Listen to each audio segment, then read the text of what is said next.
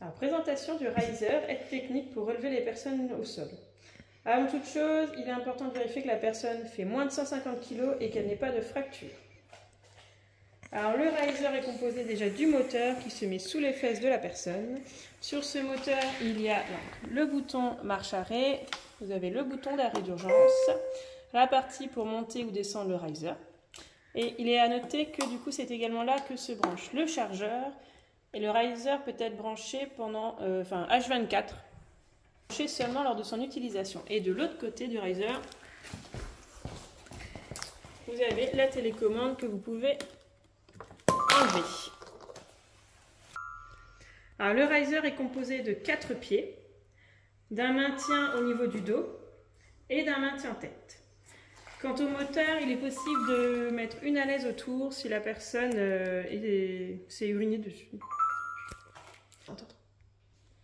Alors du coup, le moteur, pour l'installer, on demande à la personne de lever les jambes et on le met le plus proche possible de ses fesses. La partie antidérapante se met du côté des fesses. Ensuite, on met les maintiens au niveau du dos. À chaque fois, il y a une musique pour, euh, pour vérifier que ce soit bien mis. On met le deuxième.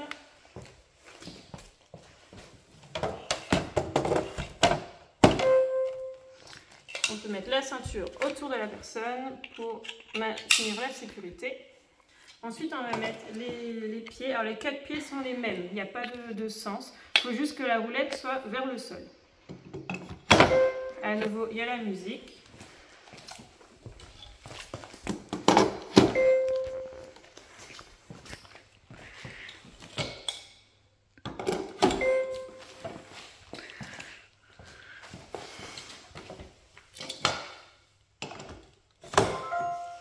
Et enfin, le maintien thoracique. On n'est pas obligé de le mettre, mais si on ne le met pas, c'est très désagréable pour la personne. Sinon, il se glisse en fait au niveau de la tête.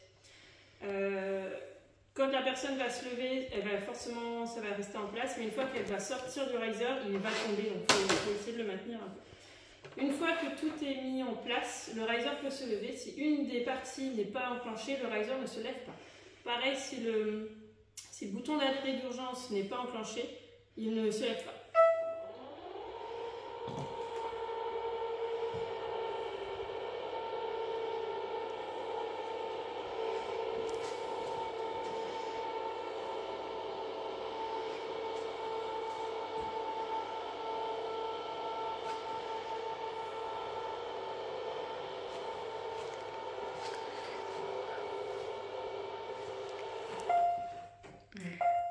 Là, nous sommes au maximum, sachant que selon les patients, on peut s'arrêter un peu avant.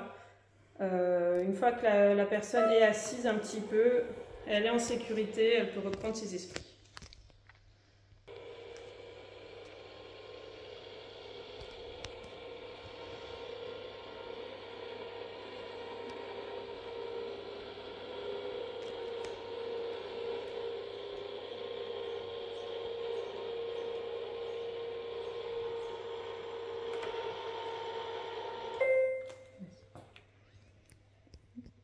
Pour défaire les différentes parties, c'est important que le riser soit au sol, euh, enfin le plus bas possible, sinon on ne pourra pas enlever les, différents pieds et les maintiens thoraciques.